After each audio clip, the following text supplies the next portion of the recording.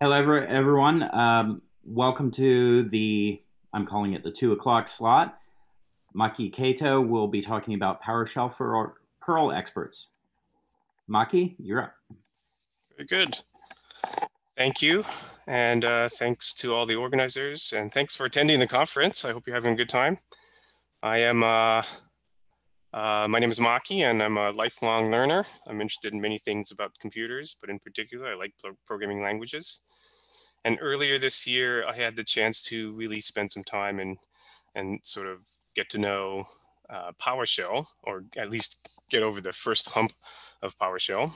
Um, and it was, uh, you know, it was a substantial effort, and I came came came out of it thinking, uh, you know, I, I could I could I, I could use a little help here and there, and there was a lot of things that I gained that I feel like could trip other people up, and I and I thought I would, um, you know, sort of collect those together and um, you know make it uh, make it available.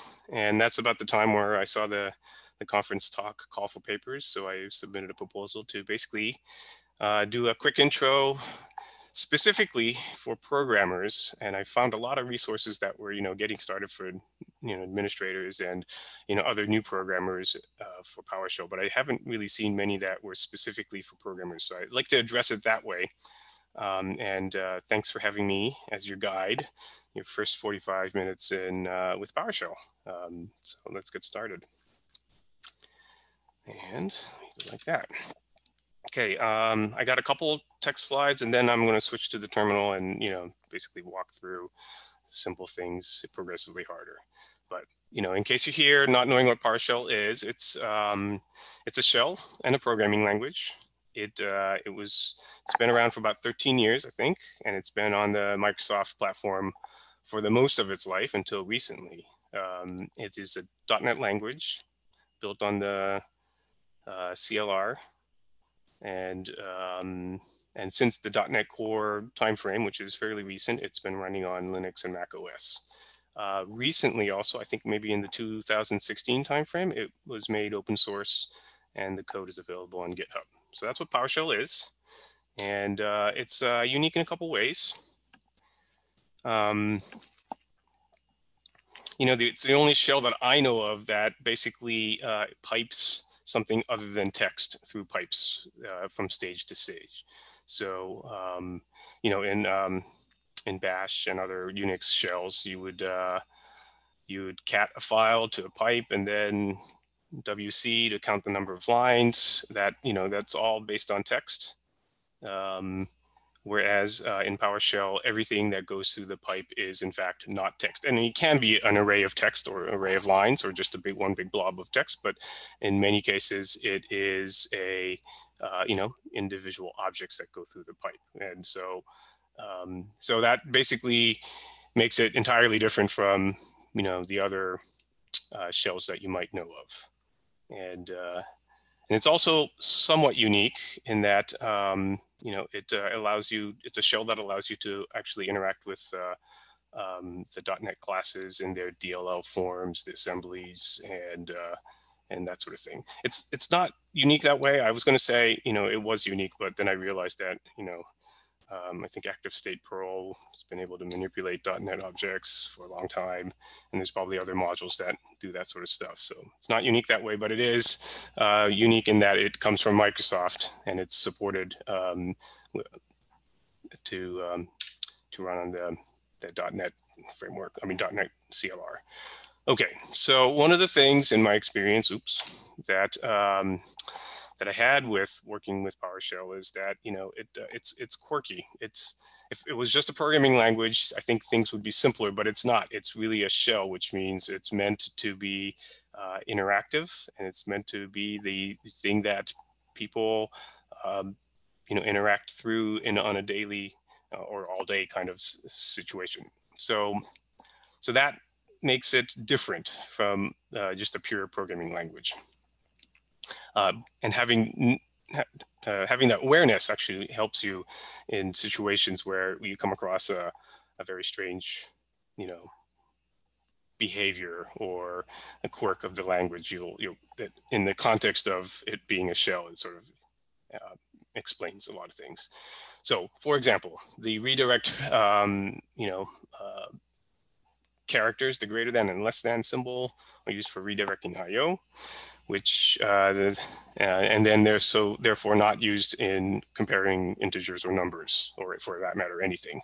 Um, operators for comparison, uh, they use minus EQ, minus NE for not equal, minus LT, etc. Um, you know, this is sort of a, a, sh a, shellism, I guess we can call it. Uh, and the last thing that, uh, you know, I want to point out and is um, there's a notion of aliases where, uh, you know, things are mapped.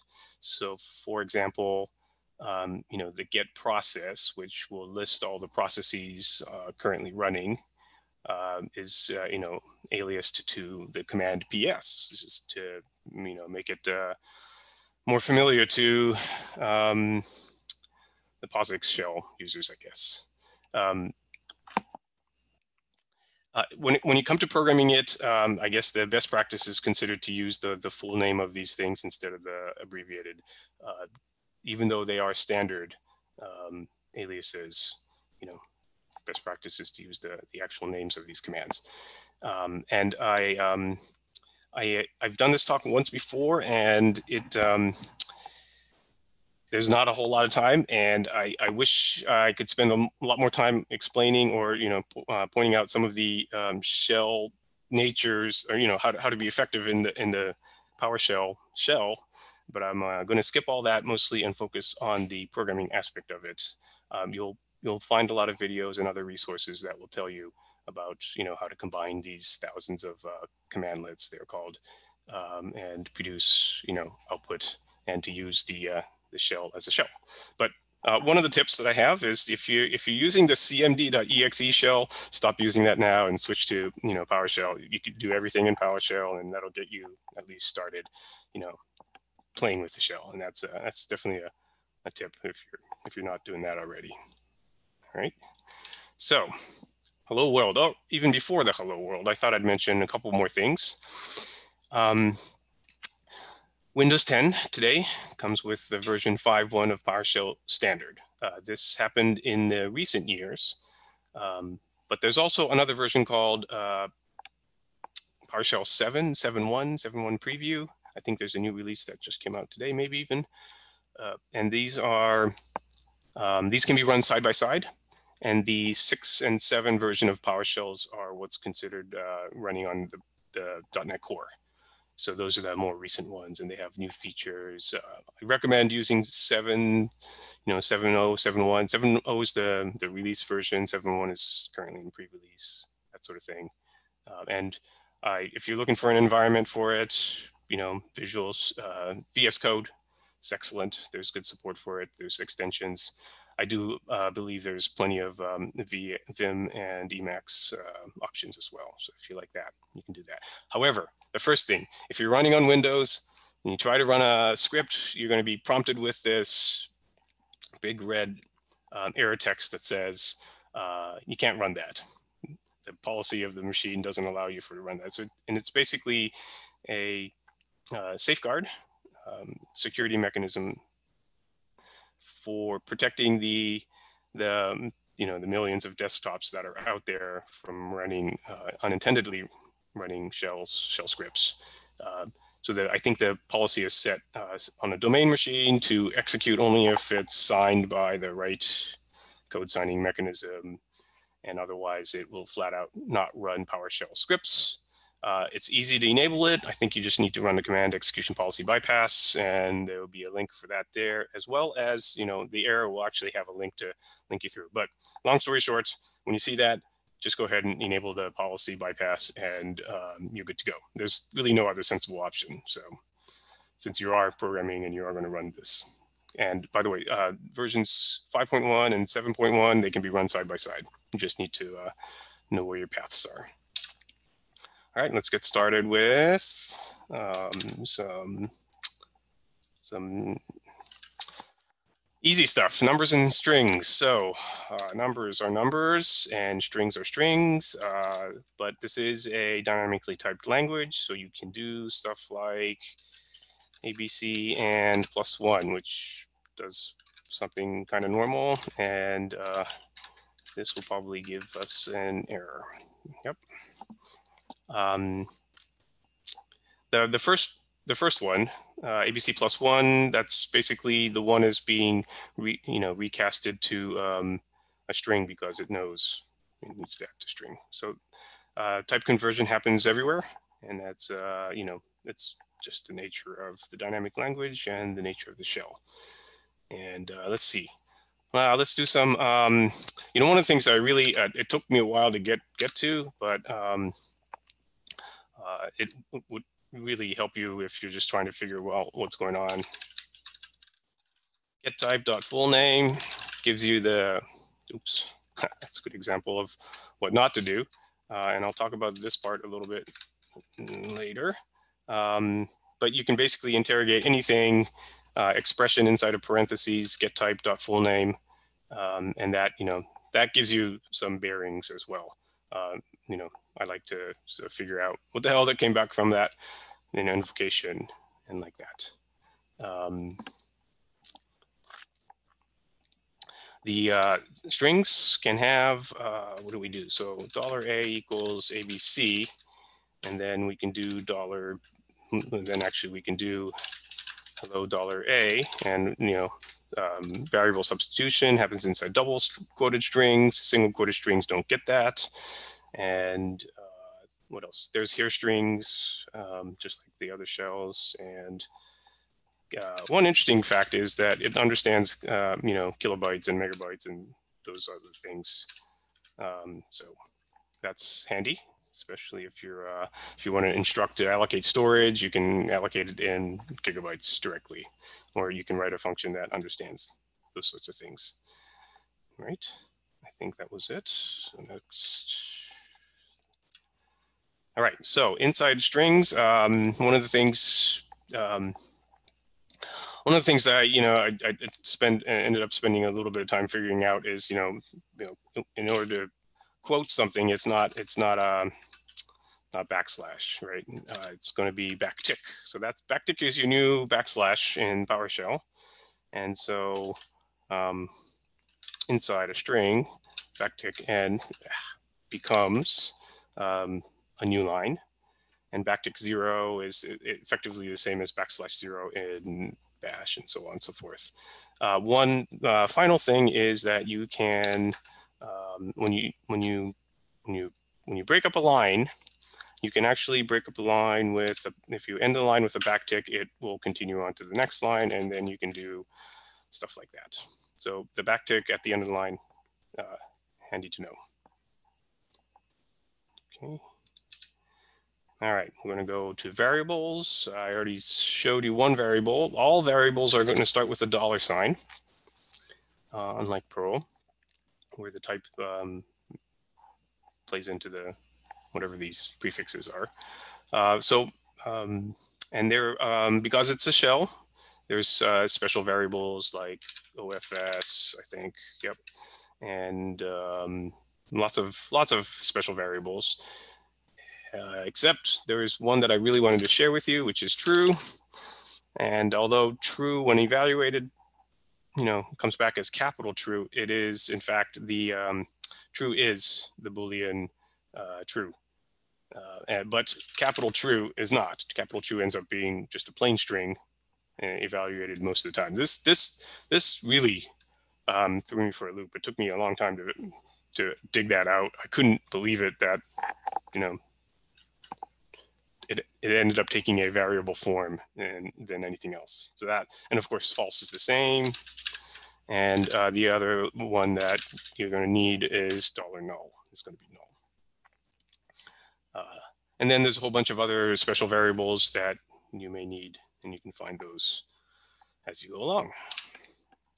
Okay, let's talk a little bit of types. And by the way, um, I did say um, expression in, in parentheses with get type full name. Uh, the get type doesn't have to be case sensitive. It can be any case, and i will be typing it lowercase from here. Um, you have things like uh, so. So ls, by the way, is um, uh, alias to something. What is it? Uh, to get child item. I keep forgetting that. But anyway, so ls um, returns something. And uh, if I do that, you know, a bunch of things. Uh, so let's, there's a handy function that I'm going to share with you. Um, not function, they're commandlets. Uh, get member. And the, this, um, this is going to be the few things that I'm going to show you of that sort. There's thousands of commandlets and you're going to need to, you know, know more as you go. Uh, but this one is particularly helpful in figuring out um, what you're working with. And uh, so get member will return the type of the objects that's coming back out of the pipe. In this particular case, it's unusual. You saw my, my, you know, my, my listing of files. Uh, one thing about this is there's files and directories. And so there's two types of objects that came out of that particular, you know, LS into pipe and uh, one of them is going to be the directory info and the other one's going to be file info and they show both of them to you. And this is basically a .NET object and it's going to show you all the uh, members the properties and you can adjust some of these but but but between the get type full name and a get member you can sort of navigate your way through all these things that that are happening and debug and figure out what the hell's going on. And uh, and you you're probably going to need to do that um, all the .NET types are available. And uh, sometimes you will need to load the assembly and that's a you know separate process, but otherwise you can, uh, you know, you can manipulate, you can use, uh, allocate collections, etc. from all of the .NET system. And I won't talk any about that, but there's plenty of good resources for that. All right, moving on to arrays and lists.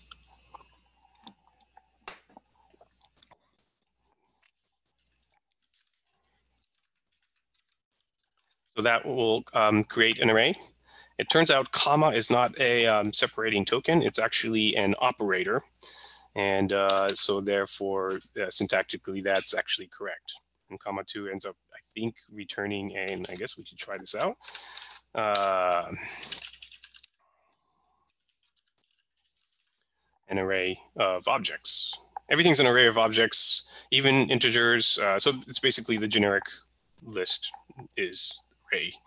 Um, you can allocate a um, in .NET uh, array of integers, or for that matter, .NET array of anything, if if that's what you want to do, and that will then limit what kind of objects can go in. But otherwise, you know, when you're using this as a shell, it's just array of objects, and stick anything in and pull anything out, and you know, life life is good.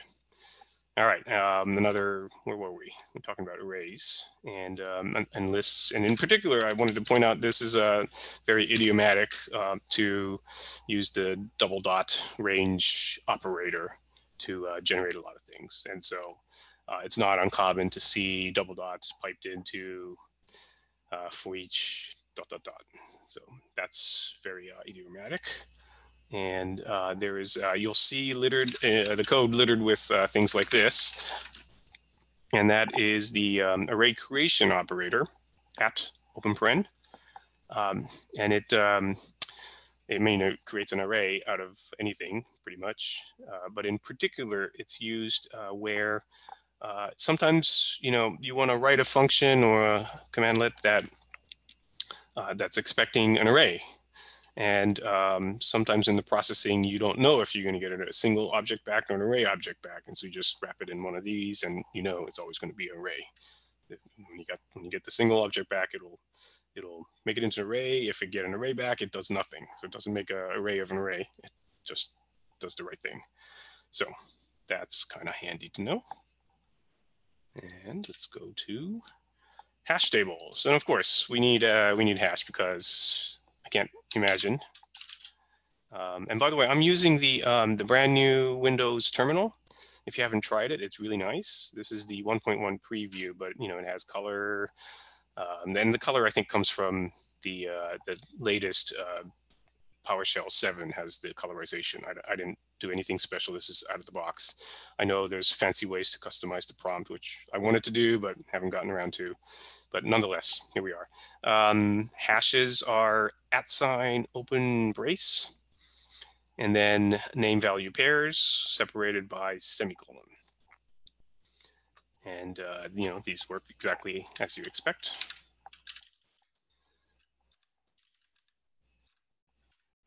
You can do hash dot keys. And I think command line command completion does work. Keys is a property, so it returns the, all the keys. You can use that to iterate over things, or you can also do, uh, I think you can do count, because this is a collection.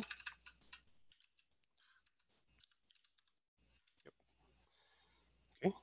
Um, if you wanted to iterate over the key value pairs, um, you're going to have to call hash.getEnumerator, which is a um, basically a .NET method on the collection. And so then you end up doing stuff like hash dot enumerator, and you can do for each object. And I'll just skip ahead and uh, you know use the uh,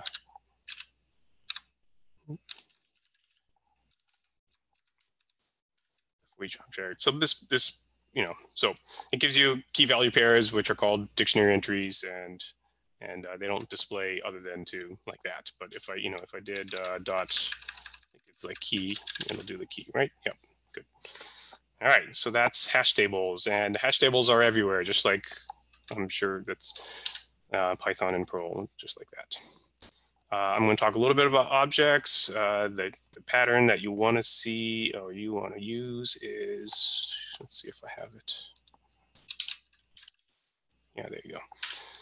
So um, basically it's a, I'm assigning a variable, new object is the commandlet, and I'll talk about this in just a second, but you pass it arguments, and one of the arguments that you pass is the, is the, the class name.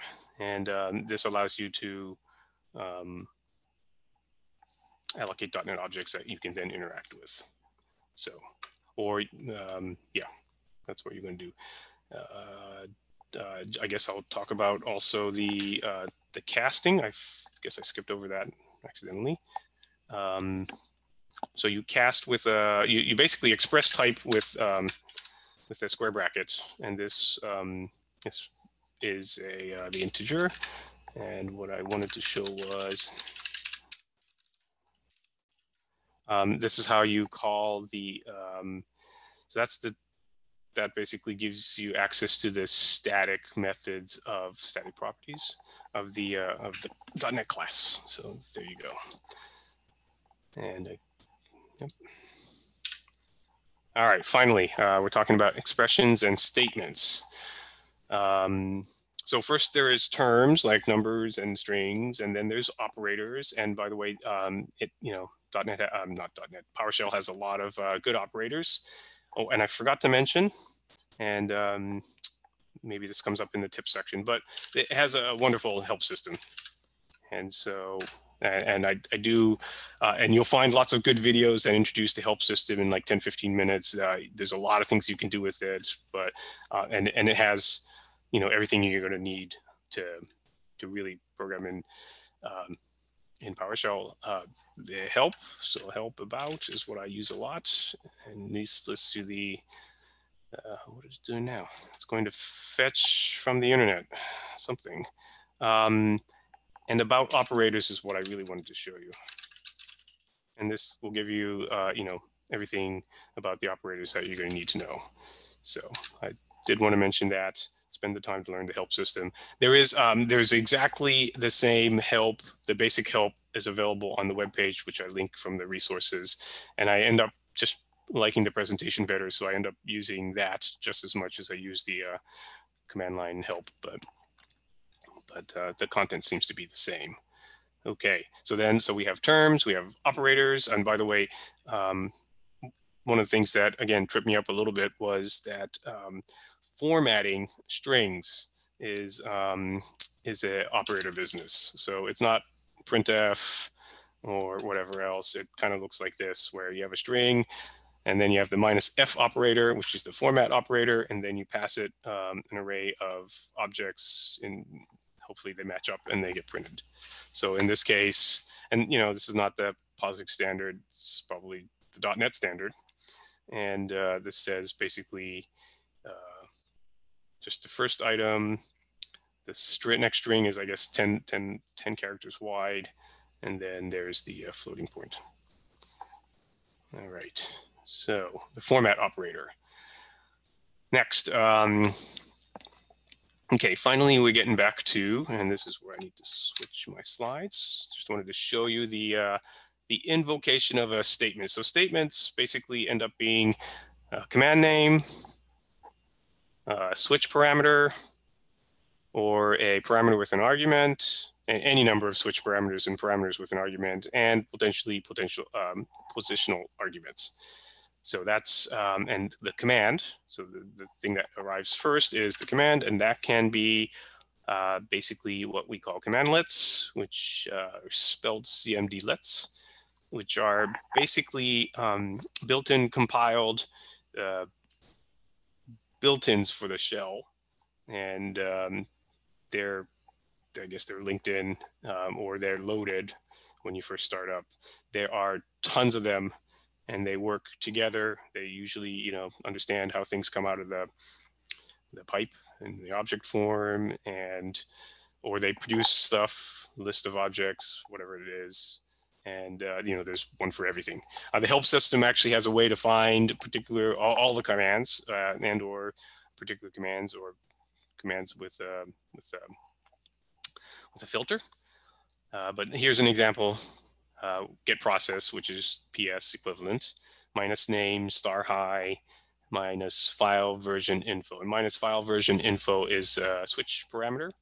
It takes no arguments, but its presence signals uh, change in state. Uh, the minus name is a normal argument, and I think in in in in reality, this is a uh, it also understands uh, the first positional argument as I think defaults to the name.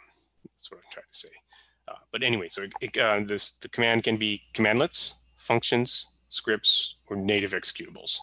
Native executables Hopefully they understand, uh, you know, arguments on the command line. If not, they'll just start. It could be Notepad, and they'll just start Notepad. Um, a, um, a function is uh, basically defined in the PowerShell programming language, and we'll talk mostly that's what we're focused on here. And a script is a PowerShell script. And commandlets, like I said, are usually reserved to mean um, the precompiled, uh, you know, built-ins for PowerShell. You can write these in C Sharp, or you can, um, well, what I'm trying to say is that functions can be, um, can you can write basically commandlet equivalents in um, in functions. So you can do everything. So the, there's a really a blurry boundary between commandlets and functions. Um, and maybe you don't need to know the difference. If if you be, uh, if you're writing modules, for example, you could write all of it in in PowerShell code, and not needing any C sharp, and it'll still basically you can publish that and share it, and it'll be no different than a commandlet, other than it comes with source code.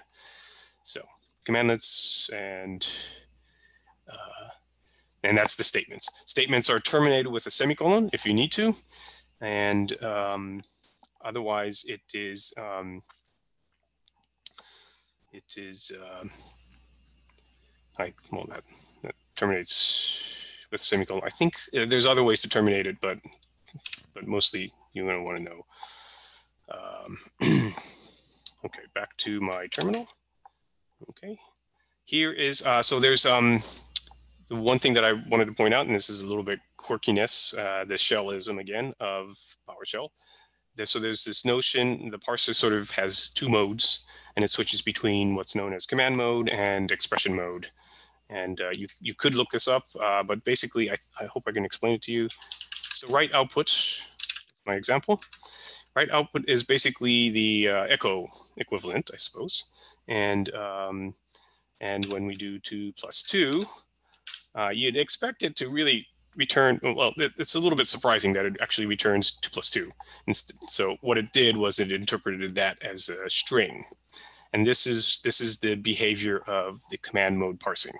So um, what it's trying to do is it's trying to uh, you know, parse the arguments to send to the command. And in, in, in that mode, it basically treats you know, everything as strings. Uh, unless it has reasons to do so, uh, do otherwise. Uh, if you wanted to force, and oftentimes you do, you would have to put a um, you know parens around it.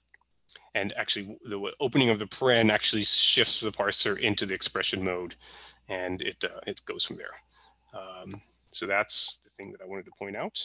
Uh, there's another thing about um, the the the parser that it knows that this line is incomplete. So I wrote two and a plus, and it knows that plus doesn't end anything. So it's expecting more to come. And so I could do that. Uh, however, there's a little bit of interesting situation where uh, it actually thinks, well, that ended, uh, that ended that, but why didn't it print? Ah, no, it didn't. Okay, so it you would think it actually um, would have figured out that that's incomplete, but it doesn't. And it, um, well, it, it, it um, it's not happy about that. So, um, but yeah, I think the best thing to do is if you really want to sort of terminate a line, um, you just, uh, to, for completeness sake, you can put a back quote and then you can do the plus two or whatever. Okay, so the command mode and expression mode I just wanted to touch on that. Okay. All right, if statements. This is about where um, we get back onto track with normal programming language. So I, um, so the if statement syntax is, you know, if condition and the parens are not optional. And then uh, the, what's known as, uh, I guess, block or script block. Um, can, I don't really have to write an output, so I can just say two. Uh, and, or you could do, you know, if condition block, else if condition, and so on and so forth. You can look these up. So that's kind of normal. And I'm not going to go into details about that. Oops. All right. So, um, and I'm not going to probably go into details about the switch statement, the for statement, the for each statement, and the while statement, which, you know, it, you're going to have to look it up when you need to use it. And that's kind of that's okay. There's nothing too special about it other than the switch statement is a little bit um, uh, different from C and or C sharp. Uh, I'll just leave it at that. I do want to touch on the, the subtle difference between for each and for each object. So for each object is uh, one of those things, uh, one of the cmdlets it's wonderful cmdlet. It does a lot of different things. Uh, among other things that it does, it takes a uh, you know array of objects and and it takes a script block and in that block you can reference the and so each of the objects are going to be evaluated in this block and it's represented as dollar underscore and you can do things like well add four to each of those and you know you'll get the this. So this is um, uh, an array of one, two, three. And uh, for each of those objects, we're adding four to them. So we end up with five, six, and seven. So this is kind of like a, you know, it's a mm, sort of a functional programming style. And by the way, if you are interested in functional programming, there is uh, several blog posts about uh, functional programming in PowerShell, and the guy goes into pretty good detail about that. So if you, I guess to some degree you can do that ultimately it's not a functional language, so it's not quite the same. But this is quite idiomatic. I found that um, that you you pass objects into the for each object and you do something for each of them. Okay. Um, what I wanted to point out that there is a language construct called for each, and that one evaluates like this. So there's two, there's actually three for eaches, and I'll touch on the third one next. Uh, this is just a, so we can say dollar $x in uh, one dot dot three, and uh, then we can say dollar $x. So that's, this is the, okay, we'll make it the same as above, and that's exactly the same. The only difference is, so this one, note that there is a parentheses, and inside the parentheses, the dollar in, blah, blah, blah. So that's the, the the language construct for each as opposed to the for each object. Uh, there seems to be no particular uh, standard, although for each object actually it functionally does a lot more. So sometimes you use that uh, for each. uh, the language constructs for each, um, I think has a performance advantage and it, you know, it's faster in certain cases or in many, in the, in the limited cases that I can handle, it's, I think, faster. And the, finally, there is an alias called uh, for each, which actually um, maps it to for each object. Uh, and this, uh, this was something that I found confusing and baffling. Um, and, and speaking of idiomatic and cmdlets, there is another one called the where object, and then there's a select object. And those three are like the, the foundation uh, for you know working with uh, PowerShell. That's used everywhere. And you, kind of imagine what it is. The where object actually sort of filters the list, and the select object will actually, for each of the objects, select properties out of it. Um, and that's that's how it works. And it's good. Um, so we got covered up to there. All right, so now we're getting into the functions and this from here it's sort of somewhat downhill and I am going to mostly just show you some of the, the code um, and uh, and talk about, uh, before I can talk about that, I'm going to talk about the unnamed functions, which are also known as script blocks. And basically it's this notion of um, you can have a, uh, you can have a you know, unevaluated block, although, you know, that one actually evaluated it, but if you assign it to a variable, it actually doesn't, and you can evaluate it later. You can also pass it as an argument to, you know, the cmdlets that you're writing, uh, you can pass it around, and it's exactly what's happening on this line right over here, where it says for each object, you know, dollar plus four. Okay, so functions are defined uh, with function keyword. And I, you know, at this point, I'm going to switch to my, here is a example of a function.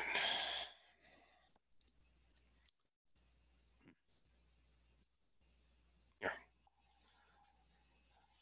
So functions are defined with the function keyword, uh, the function name, uh, optionally the parameter list, and a you know bracket and a list of statements uh, statements can terminate uh, can terminate with the line or with a semicolon as necessary. You can put two statements on the same line with a semicolon in between as well. Uh, in this particular case, this file actually has a function and it will basically uh, call, and, and this is uh, an example of a function saying that it has a default. So when I execute my, my hello, it will actually say hello world. And when I say my hello John, it will say hello John like that. All right, and uh, so then um, we get into a little more. Um, one remark that I want to make about functions is while they are defined and they look like a function, they, they look like they take a parameter, but they don't. You don't invoke it with, uh, so I have, so let's just do this.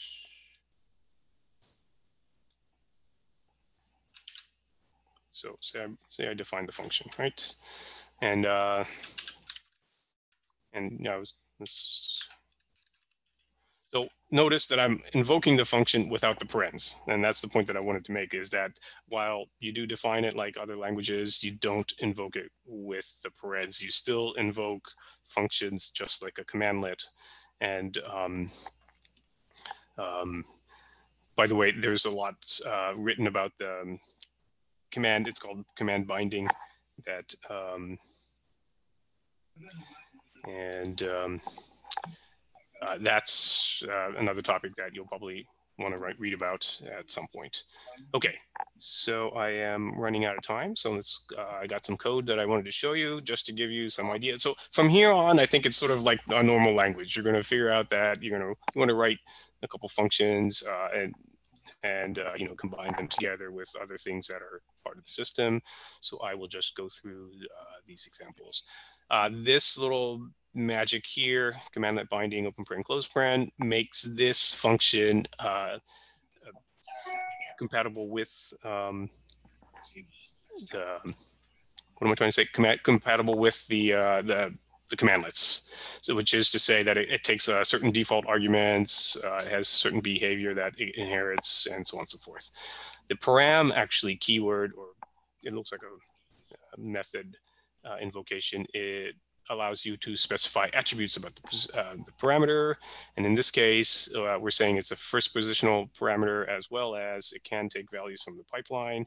It does have a type of string and um, it is na name is dollar forward or forward.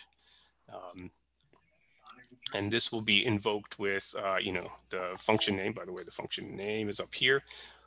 And I did want to point out that this is sort of the standard format for writing um, uh, comments and doc strings or doxygen like uh, comments, I guess. And uh, this allows the help system to actually pull out and create help pages for you automatically, which is kind of neat. The uh, the command uh, the the comment character is the sharp or the pound sign, and the multi-line comment is the angle pound closing with the angle pound close angle. Um, okay, so in this case, uh, just wanted to, I guess, explain the, the name here is uh, variable reverse is uh, creating an array of uh, characters from the input, which is a string. And um, then we call the static method of array to reverse it.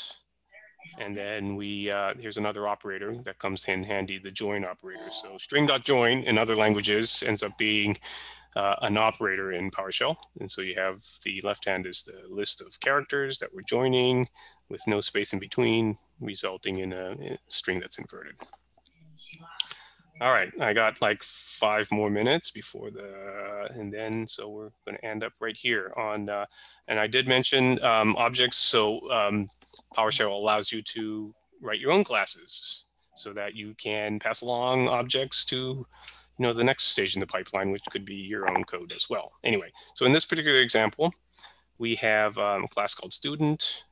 Uh, and as you declare the instance variables, you end up um, calling them, you, you need to give them type, give them name. Here's a constructor. Inside the constructor, you can reference the new object with a this. sort of all straightforward, I think. Uh, another class, in this case, it's uh, Here's the uh, dollar student. We have a method, add student. Um, the receiver is referenced as this. And here's another example of, uh, here's an example of creating a new object of the student type. And uh, hopefully, yep, you can see what I'm doing. And, um, and there you go. Uh, get roster, you're defining a method that returns an array.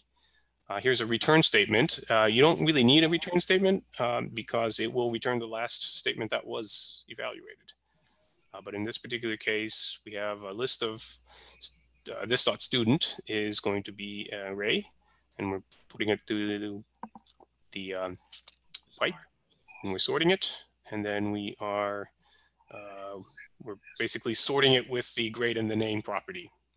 Uh, here's an example of the where object where we take that list, we filter it by uh, grade equals grade, and then we, we sort it with just the name.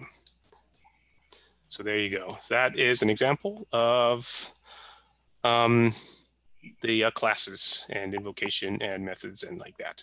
Um, since I'm here, I thought I'd mention to you. So these, by the way, these um, are actually submissions from a site called Exercism, which is one of my favorite language learning sites. And uh, they do have a PowerShell track. I linked it in my, I, I was not able to find it at one point. It wasn't published. And, um, and, uh, but anyway, oops, that's not quite what I meant to do.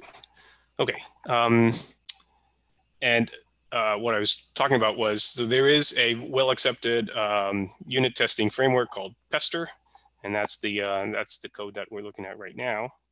And uh, so uh, so we basically you know describe the test and uh, run these things. So anyway, so uh, oh, uh, this is from um, Exercism, and that's um, that's a site where you basically you get structured problems in great gradual structure problems, you have to answer and submit a working pro uh, problem.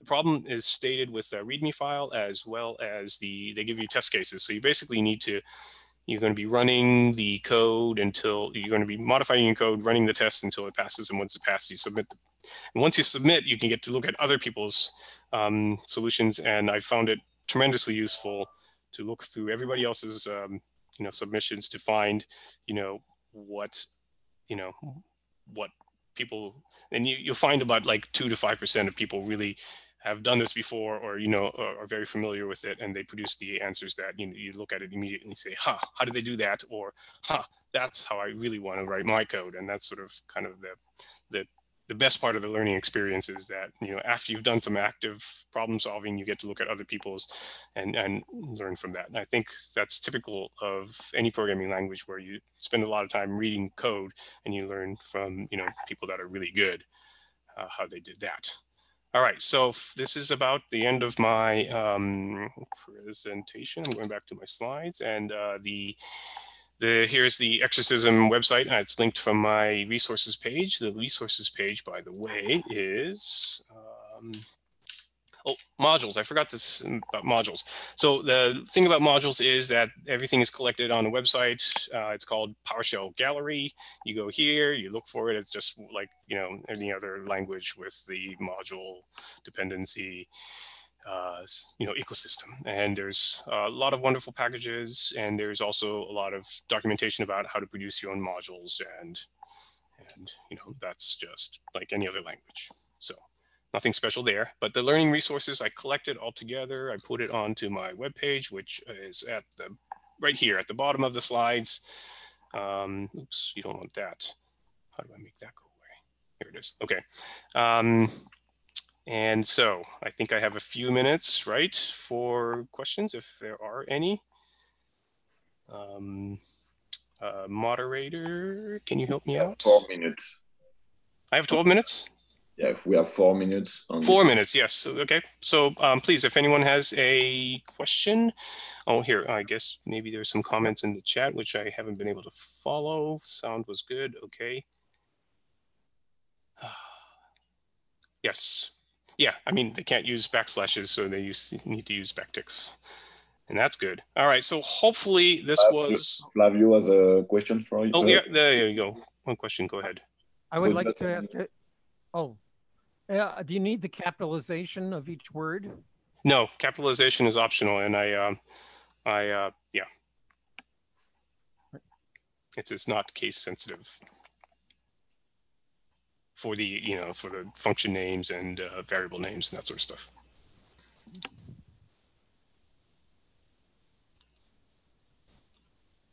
Uh, Fulvio, if you have a question, go for it.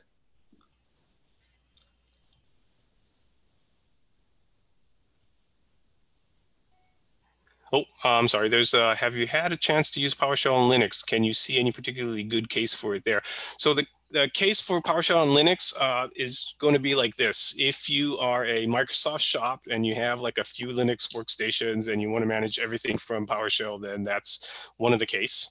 And the other case is you're a Microsoft shop and you're running, you, you're actually starting to run your web applications written in um, .NET Core and you're deploying on Linux servers because they're cheaper that way um, that's another case where you'll probably use PowerShell. And um, I have not uh, personally used PowerShell on, and the downside of, of PowerShell on Linux is that uh, it's it's it's rather bloated, right? So because you need to install the um, the whole .NET Core ecosystem uh, before you can even run PowerShell. So so eh, it's not it's not about to replace Bash in my environment um, just for that. But you know, I think there are compelling cases. And um, the, the one thing, two more things that I didn't mention is that PowerShell is also a remoting technology. So built into PowerShell, there's you know the equivalent of SSH, um, and so you can remote manage uh, machines from one PowerShell to the other. And the other thing is uh, there's this notion called desired state configuration, DSC, and you can read about it, but it's basically you can force configuration state onto machines and manage machines that way and I, if you're a Microsoft shop and you have a few Linux boxes and you want to manage it that way, then that's the reason that you roll out PowerShell onto that. So there was an additional question from Fulvio that I'm going to relay. And the question um, was what, uh, my, my, what, what led you to PS as a language? So um, I actually took this up because I was starting a um, Azure uh, project with a client and um, I've always wanted, uh, so I, I, manage a lot of uh, Linux servers as well as Windows servers. And I've always wanted to, you know, get better at, you know, managing my Windows server using PowerShell. Um, you know, the alternative is to basically uh, RDP to the server and restart IIS, that sort of thing. Whereas with PowerShell, you can sort of do that all remotely, potentially. Uh, so I, I've been really wanting to, and I never really had the chance until, you know, I, I took this uh, opportunity with the client and, um, you know, I basically said, I'm going to bring this to the table so I can do automation and I can do, um, uh, yeah, so Azure DevOps and writing scripts for that. Um, it's really what's really fun about it is that it really gives you a huge amount of control over Windows servers. Um, like everything you can do on all the enterprise software that Microsoft has, you can do it from, from PowerShell. So that's you know Microsoft's really put in effort to make their automation story sort of really compelling and so so I I, I recommend it for that. Thanks a lot, uh, Maki, for your talk. I think we are running out of time, and uh, of course the discussion can uh, stay online, and uh, people can reach you. I think directly on uh, Slack if you're there. Uh, thank, thank you. Thanks. Thank you very much. Um, I will be available. Uh, you can email me there, but I'm also going to be available on Slack, uh, the uh, the conference Slack. I'll, I'll, check if you at mention me. I'll try to respond to you. I am going to attend the next couple uh, speaking uh, tracks uh, talks that are scheduled, so I won't be available immediately. But thank you so much. I hope hope I was a good guide for you for the first 45 minutes of your PowerShell. Thank you. A lot of very good positive feedback from the chat a lot of applause. I appreciate that. Have a great day.